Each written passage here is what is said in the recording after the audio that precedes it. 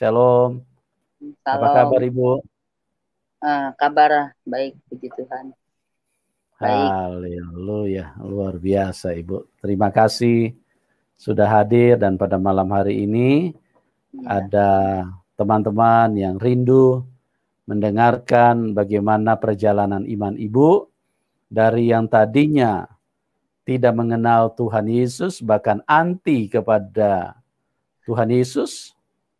Bagaimana Anda bisa mengenal Tuhan Yesus? Nah, ini sesuatu yang akan menjadi berkat bagi banyak orang.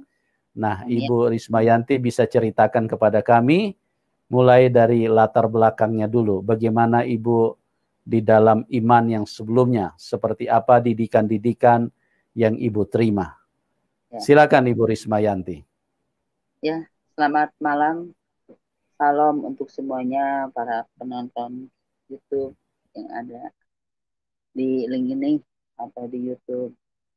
Perkenalkan nama saya Risma Yanti. Saya dari asli saya orang Sukabumi Sunda.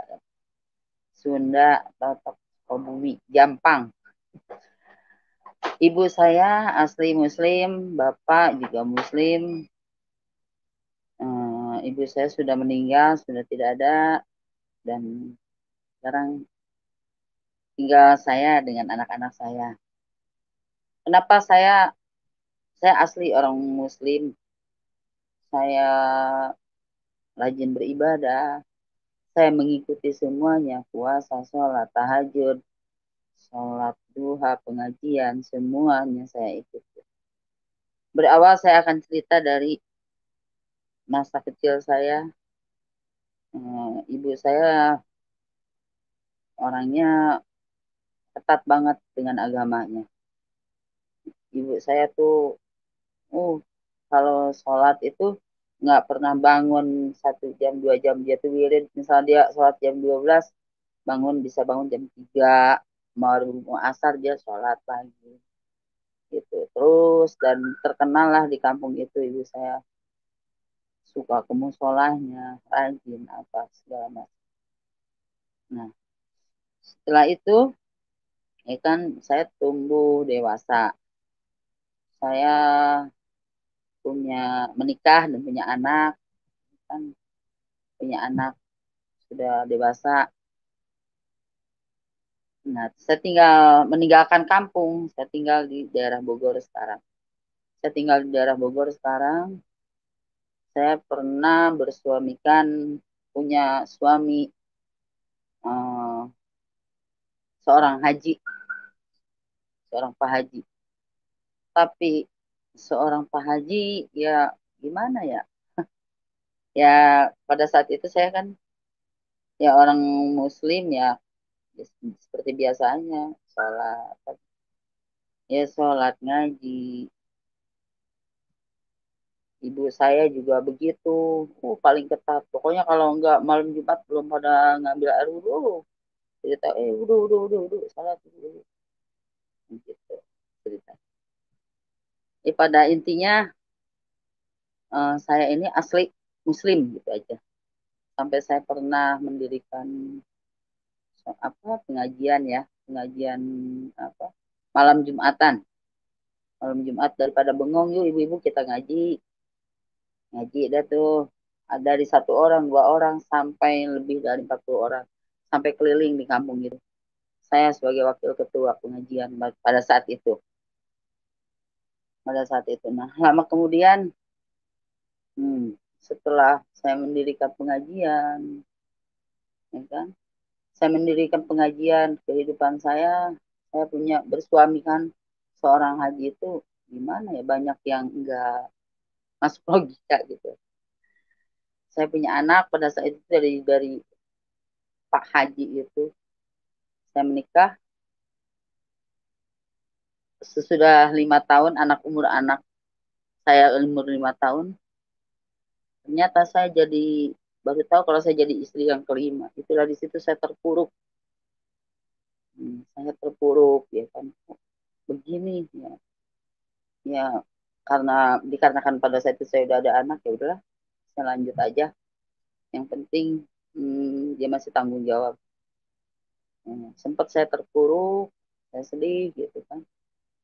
Ya makin ke sini saya punya seorang suami haji tapi nggak bisa ngembimbing saya. Ya semakin ya nggak tahu semakin semakin nggak masuk logika aja sampai pada akhirnya saya juga ya kan minta berdoa. Saya sholat saya tahajud ya kan minta disadarkan suami saya. Supaya sadar supaya sayang supaya ya begitulah kalau di Islamnya. Kalau di sebelah gitu. Kita akan berdoa. Ya katanya nih baca surat ini. Baca misalkan apa ya dah tujuh balik. Setelah sholat apa tahajud. Coba dibaca selama 40 hari saya baca tapi nggak ada perubahan. Ya kan makin lama makin di sini ya terpuruk lah. Sudahlah. Singkat cerita saya bercerai lah dengan suami saya tuh ya. Akhirnya saya udah berdoa udah banyak doa begini akhirnya suami saya menceraikan saya. Saya bercerai sampai saya terpuruk lah kehidupan saya. Dari rumah besar saya saya jual sampai habis-habisan dah padahal saya sudah sering berdoa tapi belum pernah doa saya kok. Kenapa? Nggak pernah dikabul. Itulah saya pindah ceritanya saya pindah ke daerah sini. Tapi saya sering ya apa namanya saya udah terpuruk udah apa berpikiran saya begini kok saya sholat? Kok saya puasa? Kata Senin Kemis. Kok hidup saya makin nggak jelas gitu? Makin nggak masuk ke logika aja gitu kok. Kalau memang ada Tuhan ada itu coba dah dibuktikan. Mana sih? Akhirnya ke sininya saya sampai males. Saya ada eh, kembali lagi ke belakang. Saya sampai belajar ngaji apa ngaji saya kurang fasih apa idgom idharnya apa panjang pendeknya mungkin nggak jelas gitu kan. Saya sampai belajar lagi dari ikro supaya saya bisa lagi ngaji itu yang benar gitu kan.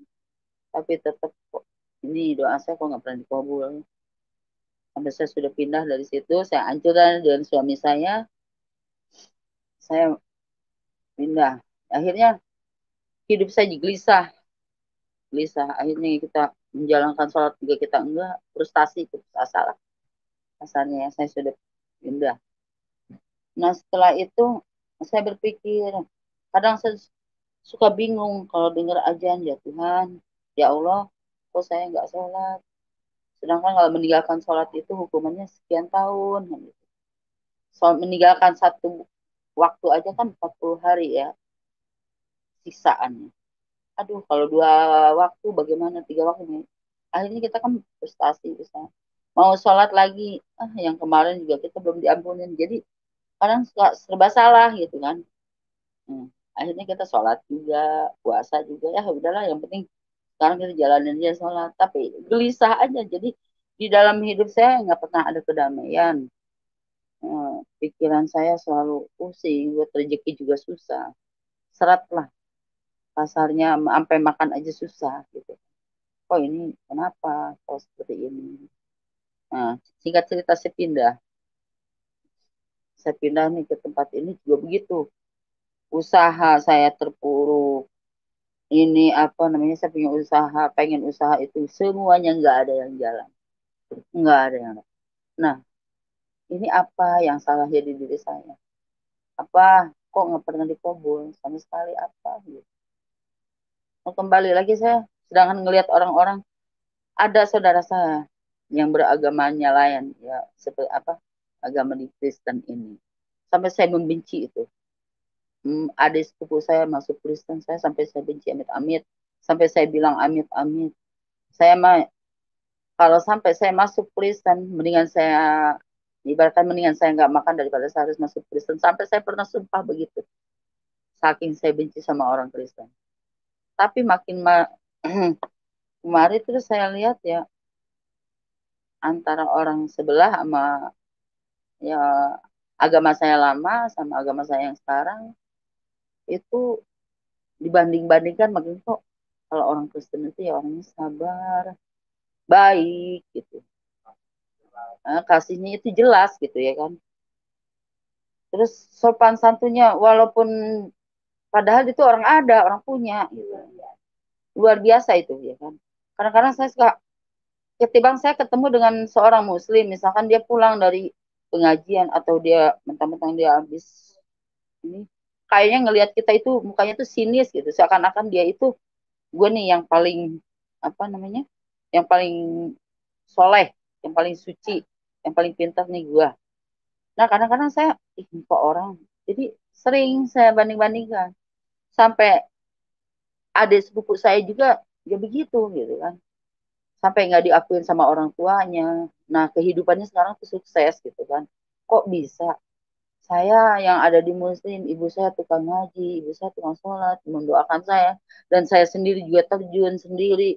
Bahkan saya baca apa wakiah ya 40 balik itu katanya saya habis asar itu buat ngambil rezeki. Sampai ke situ sampai kita sholat duha. Tapi kok malah nggak ada kalau bahasa tapi kalau ngeliat orang nggak pernah ngaji. Ada sepupu saya tuh. Itu kebujijatannya tuh malah sampai dia pakai mobil sampai oh hidupnya tenang rumah tangganya tenang? Oh saya di sini seperti ini gitu. Nah satu itu. Nah lama kelamaan ya terpuruklah saya. Saya akhirnya saya tuh malas untuk sholat frustasi. Karena merasa oh saya sholat? Saya udah berusaha begini gitu kok. Kehidupan saya tuh nggak nggak ada perubahannya. Nah itu udah bertahun-tahun lama. Nah, kebetulan adik saya tuh yang dari Bogor tuh ya dan pindah ada ceritanya ke rumah saya. Nah adik saya itu terus dia sering mendengarkan yang kayak gitu deh ya kan. Uh, apa masalah tentang agama ilmu apa lah mak apa torekat makrifat segala macam dah. Saya juga nggak ngerti deh yang kayak begitu. Itu saya berpikir ini orang nih kenapa sih? Kok begitu mulut tiap malam ini orang lu terus saya tanya begini eh lu tuh kenapa sih ngomong apa nyari nyari gituan mulu? Ntar lu jadi murtad lu. Saya bilang sampai saya ngomong begitu adik saya berantem tuh masalah. Kasihan lu nggak boleh begitu. Kita kan orang tua kita kan emang Islam. Kasihan doain tuh orang tua malah ngaji malam Jumat sampai saya ngomong begitu sama adik saya. Adik saya mah tetap aja dia mah kadang YouTube dari ini apa orang-orang ya dari Kristen gitu. Pokoknya yang aneh-aneh aja pikir saya waktu pada saat itu ya aneh gitu kan. Karena saya sangat membenci banget. Jujur sampai saya sumpah lebih baik saya nggak makan daripada saya memeluk agama Kristen. Sampai sumpah begitu saya. Gitu. saking saya dulu anti ya kan. Karena kan katanya kalau kita uh, apa uh, mempelajari itu murtad katanya. Kita tuh nggak tahu gitu. Jadi kita nggak tahu pelajarannya kasihnya seperti apa? Nggak. Kalau sekarang yang saya rasakan jauh banget dengan sebelah. Jangan. Jauh sangat sangat jauh. Nah itu satu. Nah keduanya. Ya kan di Al-Quran ya. Saya juga walaupun saya nggak pase walaupun saya nggak tapi sedikit saya uh, bisa baca seperti macam ada surat doa aras ya kan. Saya baca. Kok ada surat Injil. Apa Injili kan itu kan. Seperti apa namanya uh, surat apa? Ya banyak gitu yang yang itu bahwa Nabi Isa itu akan mengadili nanti di akhirat katanya. Nanti kalau udah kiamat kan dibangkitkan kembali katanya kan. Terus nanti yang mengadili kata Nabi Isa kan gitu. Kok saya pikir kok Nabi Isa sih? Kok bukannya apa namanya Nabi bukan Nabi Muhammad kata saya gitu. Kan kok Nabi Isa gitu kan. Nah di situ kita berpikir akan mengadili kok mengadili kok dia yang menimbang gitu kan akan menimbang dosa kita katanya. Kan Nabi Isa itu akan menimbang dosa kita. Nah dari situ udah nggak pernah dipelajari tapi suka tahu gitu. Bahwa Nabi Isa itu sama orang Kristen itu dipanggil Tuhan gitu saya. Saya udah nggak gubris lagi dah saya cuek aja. Terus ya itulah. Jadi makin ke sini saya adik saya ini nih gencar banget gitu sering diskusi sama saya. Diskusi masalah ini apa Nabi Isa ya kan? Sampai pokoknya dia agama itu dalam banget oh sampai pokoknya semuanya kalau diceritain di sini susah gitu ya. Kepercayaan adik saya saya pikir begini ini orang jadi murtad begini gila. Sampai saya ng ngatain adik saya gila kali ini orang. Kasihan banget orang tua. Saya masih tetap aja kan. Kalau saya ke kuburan ya, ke makam itu ya kan. Baca doa ya, yasin apa gitu ngeliatin orang tua. Sampai saya pikir tapi kok ini anak yang ini kasihan nanti orang tua kita kan disiksa katanya di kan gitu. Kalau ya kita masuk di agama ini. Sampai saya begitu lama kelamaan akhirnya oh saya juga punya anak kok ikut ikutan juga dengan adik saya?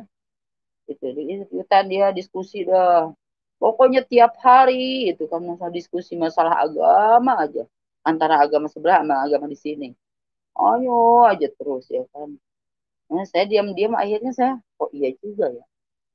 Iya juga ya nanti yang akan mengadili kita kan Nabi Isa ya kan Nabi Isa terkenal dunia dan akhirat. Dan kebanyakan memang di Al-Quran itu ya Nabi Isa disebut.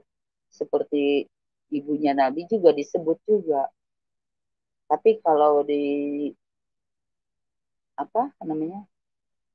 Kalau namanya nabi yang sebelah itu kan ya jarang sekali. Bahkan ya seperti itulah gitu saya bingung jadinya di situ bingung ya kan adik saya tuh terus lama kelamaan akhirnya tuh ada saya kan ngontrak dia ngontrak sendiri tiba-tiba tahu-taunya dia udah masuk di agama ini nah, adik saya main lagi ke rumah saya sama anak saya begitu lagi terus diskusi masalah agama, masalah Nabi Isa, masalah menceritakan Nabi yang mana tuh begini, seperti ini, seperti ini, seperti ini, ya kan. Akhirnya saya dengar tahu. Nah, diam-diam saya uh, apa mendengarkan mbak apa nonton YouTube Christian Tris. Nanti anak saya tuh ngirim Pak Ustad, pokoknya Ustad yang murtadin itu semua yang jago ngaji, yang jago hadisnya, yang yang jago itu semuanya saya dengerin gitu. Saya tonton saya buka. Pengen tahu gitu yang mana sih sesungguhnya seperti apa sih di agama ini? Pengen tahu. Ya kan? Saya begitu terus. Hmm, sampai-sampai saya aduh kok bener juga ya? Kok ya dia ini terkenal dunia dan akhirnya ini. Untuk sementara ini. Nah sekarang kalau di agama yang lama saya eh iya ya saya mendoakan dia terus terus saya meninggal siapa yang mendoakan? Kan pikir saya begitu gitu. Kok selalu dia selalu disebut? Harus katanya. Kan kalau di agama kita mendoakan dia nanti doanya penuh akan tumpah ke diri kita kata dia kan gitu. Ah kok nggak masuk dengan akal? Nggak nggak logika. Eh, sampai apa saya dengar ya kan dia menikahi umur enam tahun. Terus menikahi apa menantunya. Saya sampai jadi kok kok seperti ini makin lama saya buka ya kan apalagi Al-Qur'an itu ada berapa versi. Saya bingung. Terus keluarnya Al-Qur'an itu berapa ribu tahun setelah Nabi ini meninggal Al-Qur'an baru keluar. Saya tuh dari situ tuh baru tahu. Saya baru tahu, saya buka terus ya kan semuanya saya buka terus ya kan agama saya dulu dah pengen tahu. Ih, akhirnya oh ternyata seperti ini saya bandingkan ke sini gitu ya ke agama yang saya anut sekarang saya bandingkan itu ternyata jauh banget dari ajarannya dari kasihnya dari semuanya. Kemujizatannya juga ada yang saya rasakan selama saya masuk di sini sekarang. Sampai-sampai saya kenapa saya jadi masuk di sini? Nah pada satu saat anak saya pun juga jadi ikut murtadin ya kan? Sampai saya menangis nangis itu ya Tuhan. Ya Allah waktu itu kan. Ya Allah kenapa kok anak saya sampai bisa kok masuk ke agama yang ini gitu? Kenapa ya Allah apa saya ini apa ya sampai saya menangis ya saya ini orang berdosa saya ini orang yang sampai anak saya aja murtad seperti ini ya Tuhan. Kenapa anak saya seperti ini? Sampai saya menangis nangis pada saat dengar dia kesaksian bumi ya hanya saya gelap. Saya gelap mendengarkan anak saya begitu sampai akhirnya saya begini gitu biarlah anak saya sekarang udah dewasa. Saya mengajarkan dulu sudah ya kan dengan agama Islam ngaji seperti apa. Saya udah ajarkan semua. Yang penting karena saya nggak mau tanggung jawab ya kan untuk di kemudian hari. Sampai saya mengucapkan begitu. Tapi setelah itu saya diam-diam tetap saya apa penasaran gitu. Penasaran juga saya. Penasaran diam-diam saya nonton YouTube lagi saya buka lagi tentang agama Kristen ini tentang Tuhan Yesus ini. Diam-diam saya buka lagi. Oh seperti ini oh oh. Jadi makin kuat ke sini. Nah pada suatu kali kita ngobrol lagi bertiga ya kan? Debat lagi ada masalah Tuhan. Sama adik saya sama anak saya sama saya. Saya debat lagi dari situ ya. Sampai satu saat saya sampai begini. Coba dah saya sekarang begini. Kalau memang benar-benar saya bilang saya tantang aja ya. Saya bilang kalau memang benar Yesus itu Tuhan atau Allah ya kan? Kalau memang Tuhan Yesus itu ada katanya orang saya minta datang malam ini. Saya minta mimpi malam ini. Datang dengan cara apa pun. Kalau saya, kalau sudah datang apa Yesus tidak datang di mimpi saya, saya akan mengikut Yesus. Sampai saya beri sumpah begitu. Saya tidur. Nah, udah gitu udah diskusi ya kan sama anak sama tidur. Sebelum tidur juga saya mendengarkan apa uh, agama Kristen ini apa dari YouTube Kristen ternyata enak juga dah nggak ada yang nggak ada yang melenceng nggak ada yang apa ya pikir saya begini. Eh, ternyata uh, di apa di Kristen ini apa apa yang salah gitu. ajarannya kasih semua. Dan kita harus selalu memaafkan ibarat kata tampar apa ditampar kiri pipi kanan kasih pipi kiri. Kalau kita orang bikin salah kita harus memaafkan. Dan kalau kita punya kita harus membagi orang. Apa yang salah di ajaran Kristen? Kok nggak ada? Oh tapi kenapa dicemooh? Kata saya gitu kan. Kenapa dibenci? Ternyata ini kok sebenarnya apa ajarannya itu lebih bagus daripada agama saya yang lama itulah. Ngelihat orang-orangnya juga sopan santun kasih sayang. Gitu. Yang saya tahu yang saya tahu itu selama ini saya kenal dengan orang-orang Kristen gitu kan. Orangnya ramah-ramah puji Tuhan. Jauh. Sangat jauh sama agama saya yang lama gitu. Nah itu satu itu. Jadi banyak yang enggak apa banyak yang nggak ngerti gitu. Di pikiran saya waktu di agama yang katanya kan kita nggak boleh begini menyembah ini nggak boleh tapi oh kita ke sono arahnya. Seperti itu. Oh tapi jadi ya seperti itu lah nah sehingga saya mimpi saya tuh ditantang sama saya. Kalau memang Tuhan Yesus Tuhan memang ada benar itu Tuhan itu Yesus ada. Coba malam ini saya minta datang Tuhan di mimpi saya. Saya tidur, gitu saya tidur, ih puji. Saya tidur saya lelap, enak, tenang, damai. Saya di apa di dalam mimpi itu, jadi saya itu didampingi didampingi seseorang orangnya tinggi besar. Tapi saya nggak ngeliat mukanya. Tapi merasa di diri saya ini kok saya jalan sama orang ini kok damai kok tenang enak aja gitu. Gimana ya rasanya? Kayak enteng lah. Enak gitu suka cita. Ya gimana? Belum pernah yang namanya mimpi. Biasanya kalau saya mimpi itu yang ada serem-serem. Ntar mimpi inilah mimpi itu. Tapi saya terakhir dikasih mimpi itulah saya mimpi didatengin seorang laki-laki tapi kayaknya seperti pakaiannya tuh wah kayak orang kayak orang gede kayak orang gini ya apa namanya yang terhormat banget gitu. Saya kok saya pikir dalam mimpi itu begini kok saya jalan sama siapa nih ya? Oh tapi enak kok saya damai tenang itulah. Nah dari situlah saya bangun saya bangun ya kan pas besok saya cerita sama adik ya kan kata lu semalam kata nantang oh, berarti itu Tuhan ya. Oh, iya. begituan saya di situ.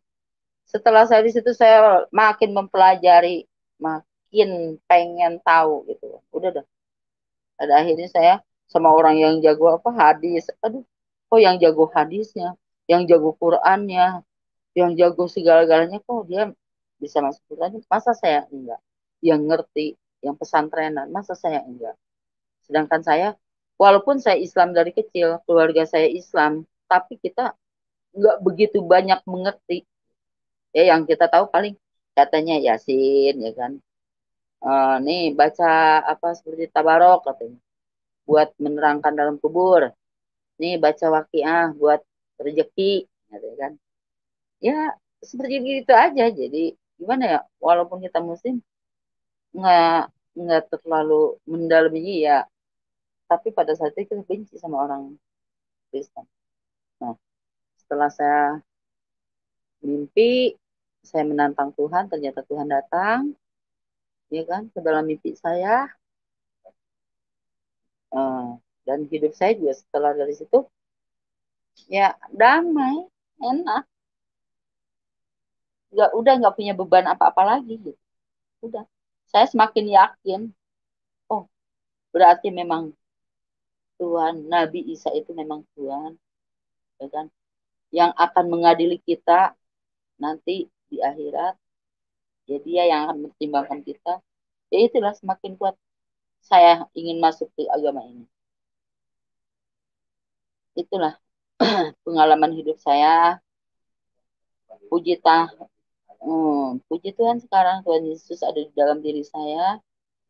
Saya ke mana-mana itu selalu ya enak.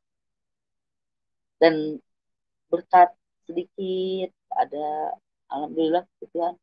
Tuhan selalu memberkati saya dan anak saya keluarga saya. Tadiannya saya suka sakit-sakitan. Puji Tuhan sekarang saya nggak sakit-sakitan. Puji Tuhan jadi sekarang saya juga nggak terlalu gimana? Udah tenang aja. Setelah saya minta dibaptis udah. Saya udah mimpi saya udah mimpi udah didampingi mungkin itu Tuhan ya kan? Saya makin belajar. Dan saya minta dibaptis ya puji Tuhan. Setelah saya masuk sini hidup saya tenang damai kasarnya walaupun hari ini kita nggak bisa punya apa-apa tapi ya selalu ada. Diberkati terus. Puji Tuhan.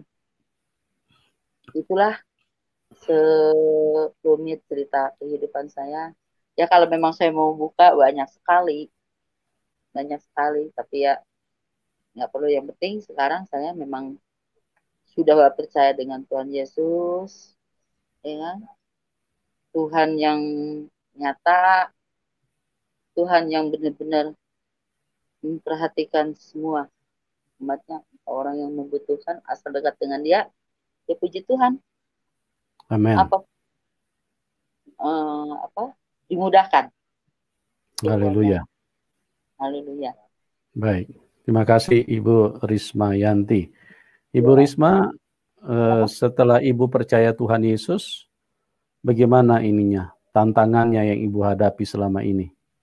Dari teman, dari keluarga, atau mungkin juga dari kelompok-kelompok yang mungkin tidak terima dengan keberpindahan Ibu terhadap eh, keyakinan, tantangan apa yang Ibu hadapi selama ini? Ibu bisa Tapi ceritakan. Puji Tuhan Pak, saya belum ada tantangan. Kalau untuk Benar. ini, saya banyak menginjili pada ini apa masuk gitu pak hmm. saya menginjili ngasih tahu sama orang-orang yang tadinya ini gitu kan hmm. ada ngikut malah pak yeah. ya jadi sebagian belum banyak orang tahu kalau saya ini udah murtad ya kan tetangga sebelah hmm. sekarang kan orang yang juga uh, saya kan megang diakonia ya masak yeah. diakonnya gitu kan tapi orang nggak tahu tapi ya puji Tuhan ada sebagian tahu malah dia mengikut saya gitu pak belum. Puji Tuhan. Puji Tuhan. Jadi Tuhan selalu mendampingi saya. Roh Kudus selalu ada di diri saya tapi jadi ya puji Tuhan belum ada belum ada tantangan. Iya. Enak. Puji Tuhan. Ya luar biasa ya. Jadi teman-teman inilah uh, di dalam Tuhan Yesus kesaksiannya didasari dengan kebenaran. Jadi kalau tidak ada tantangan, maka narasumber juga bilang tidak ada tantangan, ya. Tidak ada yang di di bluffing, tidak ada yang dibesar-besarin, ya. ya. Yang diceritakan itu apa yang dialami, yang diceritakan itu apa yang terjadi. Ya. Jadi tidak ada uh, sebuah tujuan-tujuan untuk menggiring orang supaya ya. terlihat fenomenal atau fantastik, ya, fantas tetapi di dalam Tuhan Yesus kami berbicara kebenaran karena setiap apa yang kami sampaikan pertanggungjawabannya bukan kepada Anda yang mendengarkan. Ya. Tetapi pertanggungjawabannya kepada Tuhan yang Maha Tahu, yang Maha Sempurna, yang Maha Benar. Ya. Dialah yang akan menghakimi setiap manusia. Nah. Ya, Tuhan Yesus tahu betul apa yang terjadi. Jadi kalau kita mengarang-arang maka risikonya akan besar sekali karena kita ya. berhadapan dengan kekudusan Tuhan. Nah. Bukan berhadapan dengan penilaian atau pendapat manusia. Sebetulnya Kalau, begini. Ya gimana, Bu? Sebetulnya saya setiap ketemu orang teh pengennya teh membicarakan masalah ini aja gitu sebetulnya. Jadi Roh Kudusnya itu pengennya tuh hmm, kalau ada orang tapi sedikit demi sedikit kalau ada orang selesai jadi murtadin tantangan belum ada malah pengikut jadi banyak. Gitu loh. Haleluya. Ya. saya tuh selama saya masuk murtadin udah ada satu dua hampir lima enam orang pak. Saya ya, jadi murtadin paling baru enam bulan juga belum kan lima bulan. Oh. tapi puji Tuhan. Puji Tuhan. Tapi ibu sudah memurtadkan enam orang juga? Betul. Jadi saya udah ya. memurtadkan enam orang pak gitu. Luar biasa. Jadi aku ya sudah apa memurtadkan orang saya puji Tuhan. Eh, ya. Itulah. Cuman ada yang belum nanti akan ya akan akan segera mudah-mudahan jangan mudah-mudahan pasti pasti kita yes. akan mendapatkan buah lagi gitu. Bukan saya membanggakan tapi kita menceritakan saya belum ada tantangan tapi puji Tuhan ya selama ini saya selalu berbicara misalkan masalah ini akhirnya orang bisa ikut gitu puji Tuhan ya. jadinya. Hmm, puji Tuhan bu. Ya jadi eh, sebagai hamba Tuhan saya perlu sampaikan bahwa konsekuensi yang tidak bisa kita, kita hindari setelah ikut Tuhan Yesus pasti hmm. akan ada tantangan ibu. Ya betul. Bahkan tantangan yang terbesar yang kita hadapi adalah tantangan eh, di mana nanti kita harus Eh, berkorban mungkin bisa sampai ke nyawa kita karena dunia tidak bisa menerima yeah. kebenaran yang ada di dalam Tuhan Yesus. Iblis tidak menyukai kebenaran yang ada di dalam Tuhan Yesus. Makanya iblis akan marah besar, dia akan kendalikan banyak orang untuk melakukan penyerangan-penyerangan yang uh, yang kita mungkin bisa alami di dalam hidup ini. Tapi percayalah bahwa Tuhan Yesus adalah Tuhan yang setia karena Tuhan Yesus berkata, "Jikalau dunia menganiaya kamu, ingatlah bahwa dunia telah terlebih dahulu menganiaya aku." Amen. Dunia di sini adalah bicara tentang iblis, ya. Iblis adalah penguasa dunia. Kok bisa begitu? Ya, karena manusia dari kecil sudah pandai berbohong. Iya, betul. Padahal tidak ada satu manusia pun yang suka dibohongin. Tidak ada. Manusia paling paling eh, merasa hancur kalau dia dibohongin. Manusia akan sangat kecewa atau sangat sangat merasa eh, apa dizolimi atau dan lain-lain ya betul. kalau dia dibohongi. Tetapi itulah kenyataannya manusia saling membohongi satu dengan yang lain. Kok bisa begitu, Pak? Ya, karena memang dunia ini dikuasai setan, makanya Tuhan Yesus 2000 tahun yang lalu turun ke dalam dunia untuk menyelamatkan kita dari tangan setan, gitu. Ya. Setan tidak ingin melepaskan kita dari tangannya. Karena setan itu jahat, setan itu ingin membunuh, membinasakan kita. Iya. Dia ingin membawa kita dan melemparkan kita ke alam maut. Tapi Tuhan Yesus datang dalam Yohanes 10 ayat 10 supaya kita mempunyai hidup dan mempunyai di dalam segala kelimpahan. Ya, Ibu tetap semangat, tetap kuat sekalipun nanti akan ada tantangan. Percayalah bahwa Tuhan Yesus itu Tuhan yang setia. Karena kita ingat, Bu, para rasul yang dipilih Tuhan Yesus hanya satu orang yang tidak disembeli, itulah Yohanes. 12 rasul anak domba Allah. Semuanya disembeli, Bu. Itu memang sudah konsekuensi karena dunia marah sekali dengan Tuhan. Makanya hmm. hal seperti ini mungkin orang belum mengerti. Ya, Tuhan Yesus datang dari surga. Dia roh kebenaran. Dia Tuhan, dia kudus. Dunia ini najis, dunia ini kuasai setan, kebencian. Dunia ini dikuasai kematian. Dia ingin dunia ini ingin membunuh semua manusia. Iya, iya. Yohanes 8 ayat 44, iblis adalah pembunuh manusia sejak semula. Yohanes 10 ayat 10. Pencuri datang hanya untuk mencuri, membunuh, dan membinasakan. Itulah sebabnya bahwa iblis sangat menginginkan kematian manusia. Iblis sangat menginginkan supaya manusia bisa saling menyerang, saling membunuh, saling menyiksa, saling menyengsarakan. Ya. Cuma atas atas dasar kebencian. Cuma atas dasar emosional. Cuma atas dasar membela. Membela yang tidak perlu dibela. Padahal itu semuanya hanya program iblis yang terus iya. merusak kehidupan manusia untuk manusia selalu dikendalikan oleh hawa nafsu, diberdayakan oleh tipu daya, diberdayakan oleh oleh kelicikan-kelicikan dan kesesatan-kesesatan yang dimunculkan oleh iblis, akhirnya satu dengan yang lain bisa saling membenci, orang tua dengan anak bisa saling tidak mengenal, ya, oh. teman dengan teman bisa saling menghabisi. Karena apa? Iya. Karena iblislah yang menguasai dunia ini. Tidak ada sekolah berbohong. Tapi manusia pintar semuanya berbohong. Tidak ada sekolah amarah, tapi manusia semua pintar marah. Tidak ada sekolah membenci, tapi manusia semuanya dipenuhi dengan roh kebencian. Kalau tidak ada masalah, kalau tidak ada selisih paham, tidak ada kebencian. Tapi begitu ada selisih paham, maka kebencian akan masuk dan merusak menguasai hidup manusia. Nah inilah yang Tuhan Yesus datang 2000 tahun yang lalu untuk membebaskan kita dari situ. Ya. Jangan terlambat teman-teman karena dia mengasihi. Ya. Tuhan Yesus mengasihi kita semua, ya. Jadi Tuhan Yesus ingin supaya gimana Ibu? Saya tenang, damai. Jadi besok saya mati pun ya sudah di apa? Dijamin. Sudah Amen. dijamin.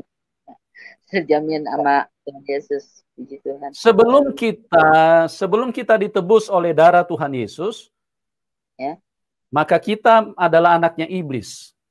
Iya betul. Pak. Makanya waktu darah Tuhan Yesus ditumpahkan karena darahnya kudus, darah itulah yang mengadopsi kita.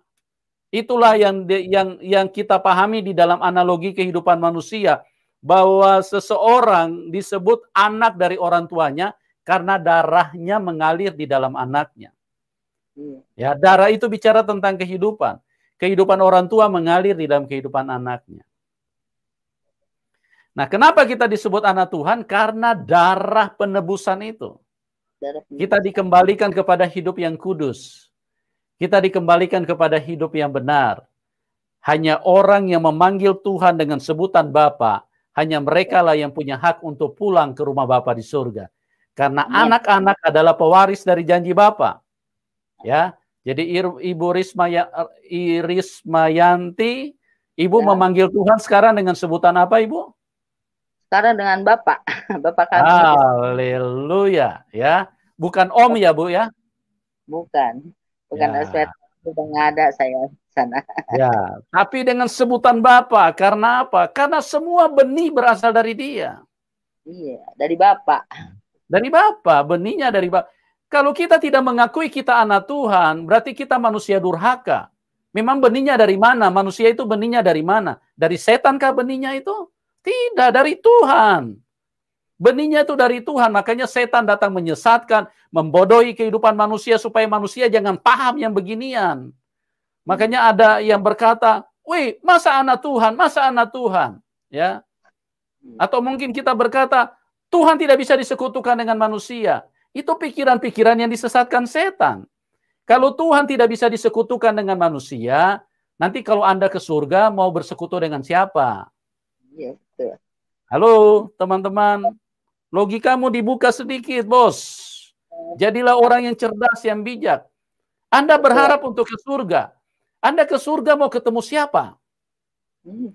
Yang punya surga itu Tuhan. Nah kita di iya. sana kalau ketemu Tuhan, kita bersekutu dengan Tuhan. Iya. Ya, jangan mau dibodohi sama setan, teman-teman. Jangan mau di, ditipu sama setan, karena setan ini rajanya pendusta. Dia menyesatkan semua manusia supaya manusia jangan masuk ke surga. Yang dia tanamkan kebencian, amarah, kebencian terus cuma atas dasar membela, kebencian terus, marah emosional, tumpahkan darahnya, ya. Jangan sampai kita tersesat, teman-teman. Ya, Tuhan Yesus mengasihi kita semua. Bu, cepatlah kembali. Ya. Gimana? Silakan Ibu. Cepat kembali supaya ya sebelum sebelum terlambat cepatlah ya. uh, kembali kepada Bapak kita, Bapak ya. Tuhan Yesus. Amin.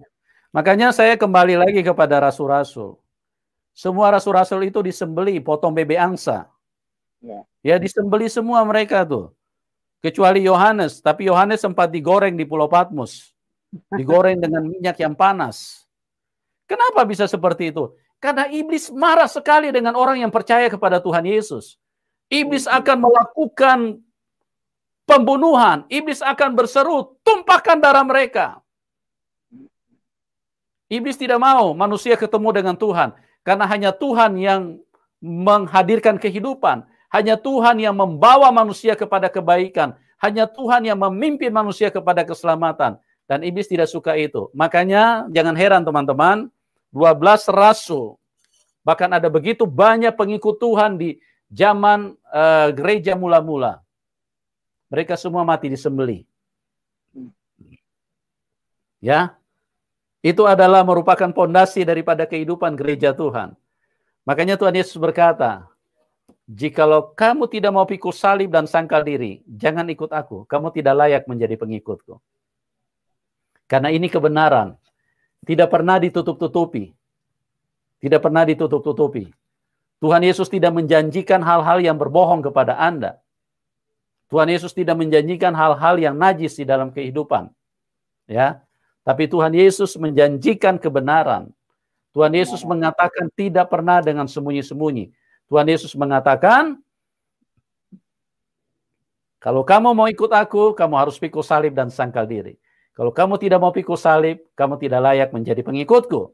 Ya, Tuhan Yesus tidak pernah janjikan Anda bidadari. Karena Tuhan Yesus berkata, di surga malaik, manusia hidup seperti malaikat. Di surga manusia hidup seperti malaikat. Tidak ada yang namanya seksualitas. Karena kehidupannya sudah berbeda. Kehidupan roh kalau dunia daging itu ya kehidupan seksualitas secara daging, tapi kehidupan ya. roh adalah sebuah kehidupan yang berbeda. Ya, Tuhan Yesus memberikan kebenaran yang sesungguhnya. Ibu Risma Yanti, ya, eh, kira-kira Ibu apa yang menjadi apa uh, kekuatan terbesar Ibu sampai ya. ibu benar-benar meninggalkan keyakinan ibu yang lama. Apa yang menjadi yang menjadi pegangan ibu yang begitu kuat sampai ibu dengan mantap iya, menjadikan Tuhan Yesus sebagai Tuhan dan Juru Selamat. Silakan Ibu bisa ceritakan kepada kami. Saya mantapnya itu ya itu setelah saya semuanya ya emang Tuhan Yesus yang akan mengadili kita yang akan mengadili kita, ya kan? Iya, itu salah satu contohnya ya adik saya, adik saya, anak hmm. saya, ya kan? Kita debat dengan apa masalah itu, ya jadi memang uh, apa uh, seperti apa namanya Nabi Isa itu emang uh, ini apa hakim, ya kan? Yeah yang bikin saya mantap yaitu hakim. Amin. Dia akan menghakimi kita semua, ya, ya kan? Dan kalau kita hmm. mengikut Nabi ya ber, eh, apa eh, kepada Tuhan Yesus Nabi Isa ya berarti kan kita memang dirangkul nanti sama dia ya kan gitu. Kalau kita yeah. tidak mengenal dia mana dia mau kenal sama saya nanti di sana gitu loh Pak. Jadi yeah. kita semakin tetap ya kan karena dia udah memang di memang dia ini kalamnya Allah gitu. Yes. Iya, ini ya, jadi, apa kalamnya ya, Allah itu memang ada di sini. Jadi ada di apa di Nabi Isa ini gitu. Masuk. Hmm. Itu yang bikin saya mantap itu aja. Jadi, jadi yang mantap bikin, ya, Bu. Ya, jadi saya tidak akan pernah tergoyahkan. Tidak yes. akan dan saya hmm. dijamin saya masuk surga. Amin kan? Ya. Udah nggak ada kegelisahan lagi, saya udah dijamin ya memang udah dia tuh ya kalau sekarang Pak Hakim di dunia aja kan Hakim. Saya Amen. maaf aja, maaf ada ya, ada saya ya kan. Seperti saya harus bersaksi. Kan kalau kita bersaksi itu kan kita memang harus nyata saksi ya Pak ya. Yes. Nah, aku bersaksi bahwa Muhammad itu keputusan Allah. Kan saya nggak pernah bersaksi Pak. Itulah contoh. Kita logika aja kapan saya pernah bersaksi. Itulah kalau mau kita biarkan ya itu sekelumit aja. Seperti sekelumit, itu. Ya. Ya, karena ibu karena ibu tidak pernah menyaksikan Muhammad berarti seperti itu kan, tetapi ya. ibu bersaksi. Oke. Okay. Uh -uh. Oke, jadi kesaksian itu memang harus benar ya, artinya ibu saksikan baru ibu bisa berkata aku bersaksi. Nah, nah kan ya artinya ya kan? seperti aku bersaksi ya kan bahwa Muhammad itu utusan Allah. Kapan saya bersaksi? Kan gitu loh. Ya. Saya belum pernah Sedangkan kalau kita di pengadilannya saksi itu kan harus benar. Hmm. Ya kan? Harus benar. Hmm. Nah, sekarang saya disuruh kapan saya bersaksi? Sedangkan kita aku bersaksi bahwa itu misalnya seperti ini asal dua ilaha maaf ya. Asal dua ilaha asal dua Muhammad Rasulullah kan. Hmm. Aku bersaksi ada lagi aku bersaksi bahwa Muhammad utusan Allah. Lah saya kapan pernah bersaksinya, Pak? Eh, jadi itulah hmm. yang saya bingung. Maksudnya nah. kapan Ibu pernah saksikan seperti itu kan? Betul. Ya, ibu tidak pernah saksikan tapi ibu bersaksi. Nah, itu yang oh. yang ibu maksudkan. Ya, itu yang yang saya maksudkan ya. seperti itu. Itulah. Ya. Jadi kita oh iya ya. Ayo kita selalu berdoa harus sana. Terus yang mendoakan kita siapa? Kan gitu.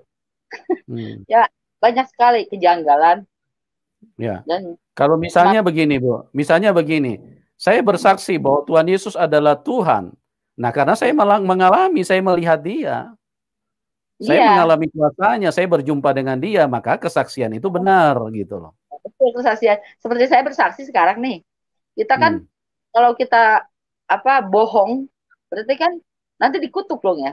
Ya yeah. memang kita memang kita mimpi, kita mimpinya kita menantang saya kalau memang benar ada Tuhan, memang ada. Ya kan kalau memang ada, Coba datangkan di mimpi saya. Dan saya pun juga pernah merasakan mujizatnya ada. Memang benar-benar mujizat ada pada saat saya kesusahan. Saya gerung-gerung nangis saya ya kan. Saya hmm. nggak hmm. punya uang seperak pun ya kan.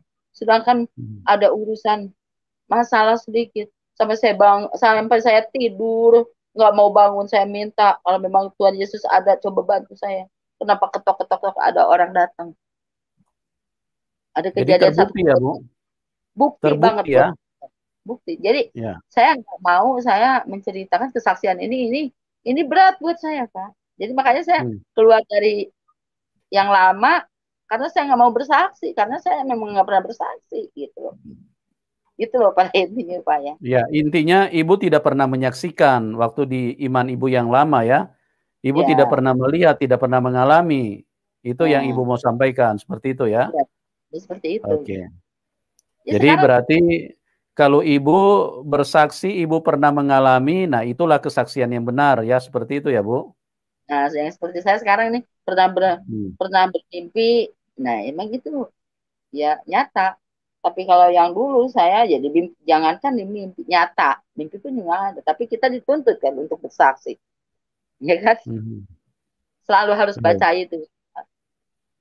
Baik, ibu dulu uh, waktu berdoa di dalam iman yang sebelumnya, ya. uh, istilahnya pernah terjawab nggak Bu? Pernah menjadi realita nggak apa yang Ibu doakan waktu masih di keyakinan sebelumnya? Ya, itulah. sampai saya kata saya saya bilang Pak tadi saya sampai saking pengen doa saya dikabul hmm. ya itu sampai saya ada yang ngajarin coba sholat tahajud ya kan terus baca dari yasin tujuh kali ya coba sholat istihoro. Nanti bakal datang. Tapi nggak pernah muncul. Jadi gimana ya? Jadi saya kok ya emang iya. Kapan munculnya? Kapan saya apa karena saya kadang berpikir ya apa ajian saya ini salah? Apa apa bacanya saya ini salah? Mungkin salah kali ya. Jadi sehingga kita punya pikiran gitu pak. Dulu itu oh, hmm. oh mungkin apa salah ngaji.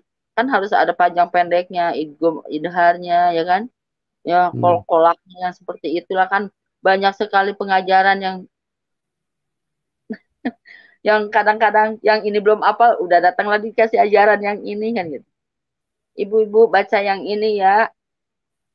Ini ya. ya ini akan dikasih rezeki seperti ini. Yang kemarin belum apa udah dikasih lagi doa ini kan gitu. Yang doa ini belum hmm. apa dikasih lagi doa ini. Aduh ah. Terlalu banyak seperti itu, Pak. Ya. ya. Yang jelas di dalam Tuhan Yesus dia benar-benar terbukti dan dia membuktikan dan kita mengalami. Itulah yang menjadi inti daripada apa yang disampaikan oleh Ibu Rismayanti. Doanya dijawab oleh Tuhan, apa yang ya. menjadi kerinduannya dibuktikan oleh Tuhan dan uh, di dalam hati, di dalam suasana kebatinan Ibu Rismayanti mengalami sukacita, mengalami sesuatu hal yang berbeda dan memberikan kekuatan dan satu perubahan perubahan hidup yang nyata. Seperti itu, Bu Rismayanti ya. Bahagia aja, walaupun nggak punya iya. apa-apa, bahagia selalu bersuka cita terus gitu aja. Ya. Teman-teman kami mengasihi Anda semua, doa kami buat setiap kita supaya ayo kita bisa mengalami Tuhan yang benar, kita Amin. bisa diubahkan di dalam kehidupan ini dan Amin. yang terutama sekali lagi bukan supaya KTP Kristen bertambah banyak, itu sama sekali tidak penting bagi kami, ya. Betul. KTP Anda pun tidak dirubah tidak masalah. Karena kalau berubah KTP, kalau kekristenan hanya sistem administrasi merubah KTP, maka itu akan menambah pekerjaan bagi orang lain. Karena ketik-ketikan untuk merubah KTP itu menjadi satu pekerjaan yang tidak mudah. Ya. Tetapi kerinduan kami supaya apabila kita pulang ke surga, kita sama-sama bisa menghadap Bapa yang baik, bisa berjumpa dengan Tuhan yang baik. Tuhan Yesus mengasihi semua manusia. Ya, hanya orang yang menyebutkan dia Bapa yang punya hak untuk kembali ke rumah Bapa. Bu, izinkan saya bertanya satu hal. Ibu punya anak? Punya. Oke. Okay. Kira-kira kalau ibu punya anak mau pulang ke rumah ibu dan mau tidur di rumah ibu, dibolehkan apa tidak, Bu? Ya dibolehkan karena anak saya. Haleluya. Begitulah analoginya teman-teman. Kenapa kita bisa pulang ke surga? Kenapa orang Kristen jaminan pasti pulang ke surga? Karena kita anak Bapa di surga. Semua ya. yang menjadi milik Bapa itu pewarisnya adalah anak-anaknya. Tuhan Yesus mengasihi kita semua. Terima kasih buat Ibu Rismayanti. Bagi teman-teman yang diberkati dan mau dukung beliau, silakan ke layar deskripsi. Anda bisa memberikan dukungan kepada Ibu Risma Yanti. Ya, dua kami buat ibu tetap semangat, tetap maju. Sekalipun nanti ibu berhadapan dengan tantangan atau aniaya atau salib, Ibu jangan mundur karena hanya Tuhan Yesus yang bisa bawa kita ke surga. Amin. Oke teman-teman, sampai berjumpa di program selanjutnya. Tuhan Yesus memberkati kita semua dan salam kemenangan. Haleluya. Amin.